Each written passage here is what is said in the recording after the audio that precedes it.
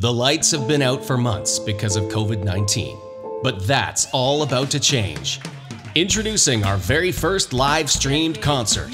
The Regent Theater, in partnership with the Mustang Drive In, presents Cue the Funk, live streamed from the Regent stage to the Mustang Drive In. Bring your bubble and come rock the night away at the Drive In, Thursday, September 24th at 8 p.m. Tickets on sale now at themustangpec.ca.